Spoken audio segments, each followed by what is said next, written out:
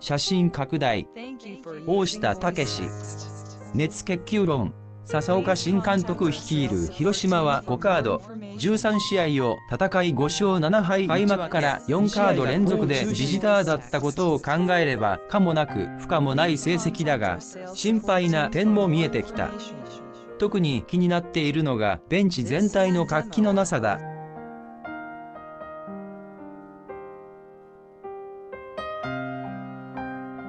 無観客試合という点を差し引いても、広島ベンチは静かだった。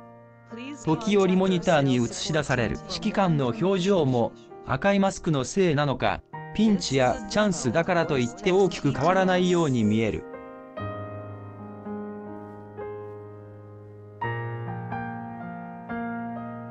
作戦面もしかり、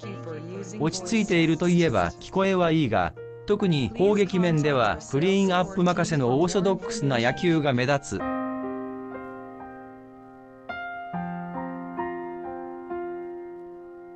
広島は伝統的に機動力でかき回し、相手のミスを誘って、もぎ取った得点を守りきるという野球をしてきた。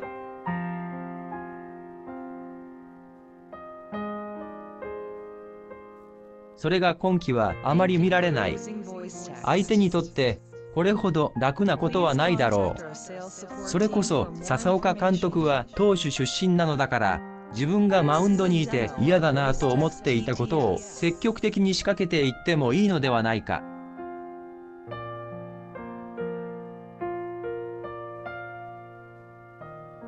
1年生監督なんだし、失敗して当たり前。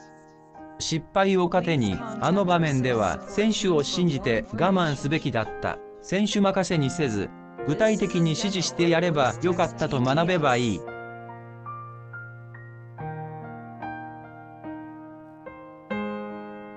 動かないとわからないことだってある。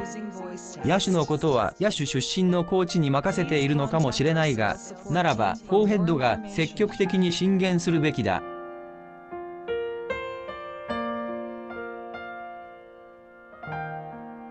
笹岡監督は聞く耳も持っている。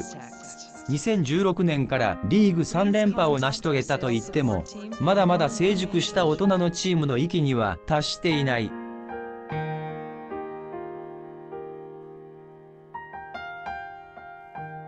もっと若さや活気が前面に出てもいいはずだ。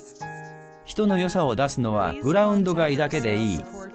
笹岡監督には現役時代にマウンド上で醸し出していた、打てるものなら打ってみろ、の姿勢をもっと見せてもらいたい。